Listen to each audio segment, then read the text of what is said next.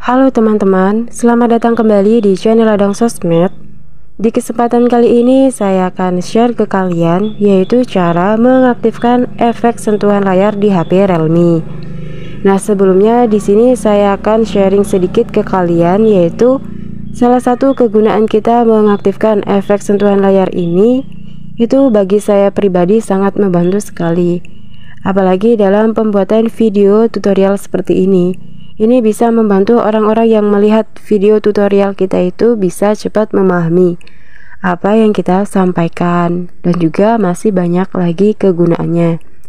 Nah, bagi teman-teman yang ingin mengaktifkan efek sentuhan layar ini, kalian bisa tonton video tutorial ini sampai selesai.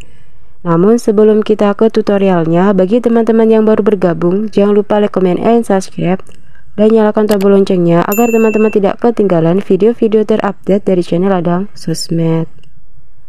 Oke, tanpa membuang waktu lama langsung saja kita ke tutorialnya. Nah, di sini sebelum kita mengaktifkan efek sentuhan layar, di sini kita itu harus mengaktifkan opsi mode pengembang terlebih dahulu. Nah, di sini langsung saja kita buka setelan. Kemudian kita scroll ke bawah, kita cari tentang ponsel. Kita klik aja. Kemudian kita klik versi pita dasar dan kernel. Nah, kalau sudah seperti ini, kita klik sampai tujuh kali nomor versi sampai kita itu mendapatkan notifikasi Anda sekarang adalah seorang developer. Oke, kita ketik aja.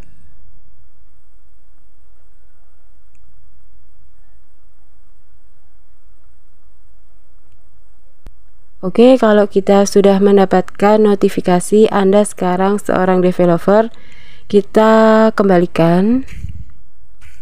Kemudian kita klik sistem. Kemudian kita klik opsi developer. Kemudian kalau sudah seperti ini, kita scroll ke bawah.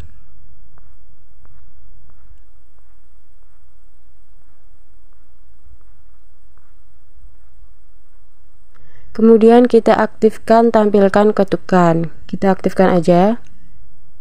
Oke, di sini sudah aktif. Efek sentuhan layarnya, kemudian kita lihat. Oke, di sini sudah kelihatan ya teman-teman. Efek sentuhan layarnya itu nah seperti ini. Nah, seperti ini. Oke.